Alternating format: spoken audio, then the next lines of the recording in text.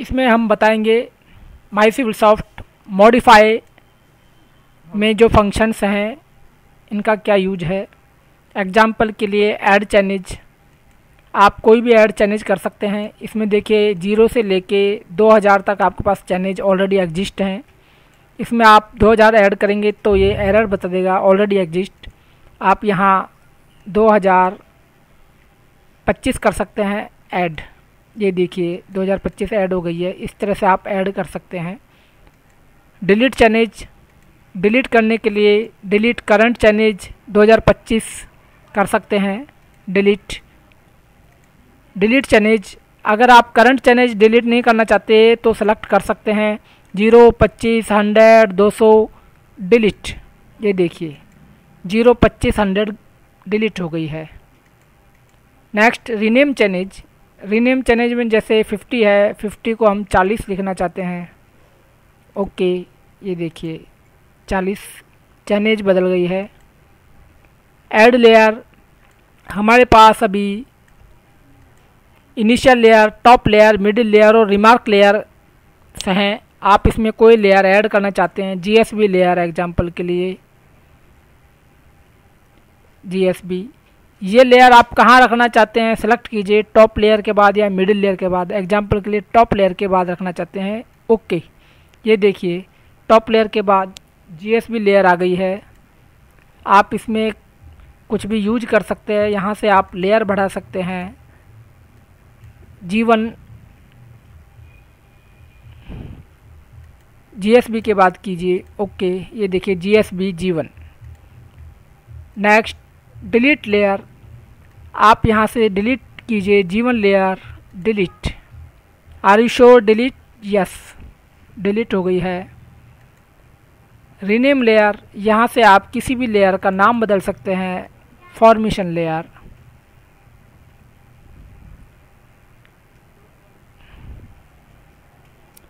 Okay ये देखिए formation layer आपके बदल गया है लेयर का नाम. नेक्स्ट मूव लेयर इस वक्त आपके initial layer formation layer GSB layer middle layer और रिमार्क लेयर हैं। आप इसको मूव कर सकते हैं। एग्ज़ाम्पल के लिए मिडिल लेयर को जीएसबी से पहले चाहिए तो मिडिल लेयर को सेलेक्ट कीजिए और मूव लेफ़्ट कीजिए। मूव लेफ़्ट इस तरह से आप लेफ़्ट कर सकते हैं। फॉर्मेशन को राइट कर सकते हैं। लेफ़्ट कर सकते हैं। एग्ज़ाम्पल के लिए राइट कीजिए। ओके कीजिए। ये देखिए। मिडिल लेयर पहले आ गई है जीएसबी फॉर्मेशन लेयर बाद में आ गई है। इस तरह से आप मूव लेयर कर सकते हैं।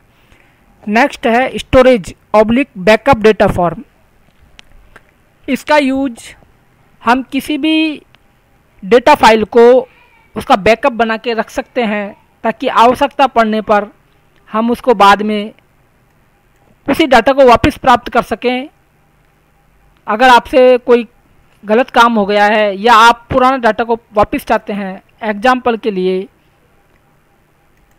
स्टोरेज ऑब्लिक बैकअप आप current data to store data है इसमें। ये करंट चैन को करंट चैन यहाँ 40 है। 40 का आप बैकअप बना लीजिए, ये देखिए। 40 का बैकअप हो गया है। क्लोज कर दीजिए।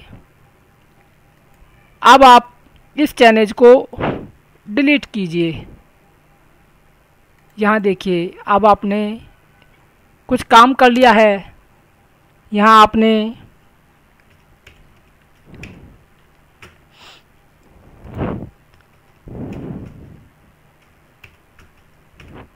ये देखिए, ये आपने काम कर लिया है। लेकिन अभी आपको याद आया कि नहीं, मुझे वो पुराना डेटा चाहिए था। तो आप स्टोरेज में जाइए फोल्टी पे जाइए ये देखिए मैच एरर बता रहा है। मैच एरर का अर्थ है, अभी जो काम है करंट में ये है और पुराना एग्जिस्टिंग डाटा ये था। आप पुराने को रिप्लेस कीजिए। अगर आपने backup current data to store data button को दबाया तो इसी डाटा को ये स्टोरेज में ले जाएगा और इसका बैकअप बना लेगा। फिर आप इस डाटा को दोबारा प्राप्त नहीं कर सकते।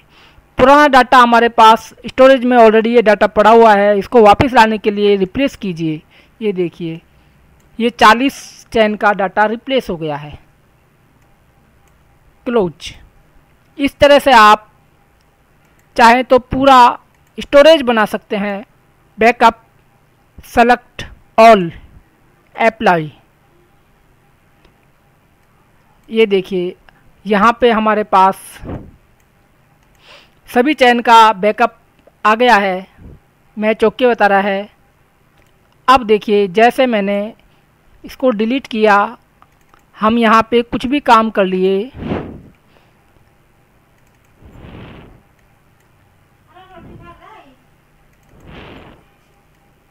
कुछ भी काम हमने किया और अब हम ने नया काम कर लिया इसमें। अब हमको याद आया कि नहीं, हमको पुराना डेटा वापस चाहिए था तो हम स्टोरेज में जाएँगे। हम चेक करेंगे कौन कौन सा डाटा और अभी डाटा में एरर है, ये देखिए। एक सौ पचहत्तर पे खाली है, पहले डाटा ये था, इसको रिप्लेस कीजिए रिप्लेस अगर आप पुराना डाटा पूरा चाहते हैं तो ये पूरा डाटा वापस कर देगा। सेलेक्ट ऑल अप्लाई ये लीजिए। ये आपका पुराना डाटा पूरा बैकअप आपको प्राप्त हो गया है। Thank you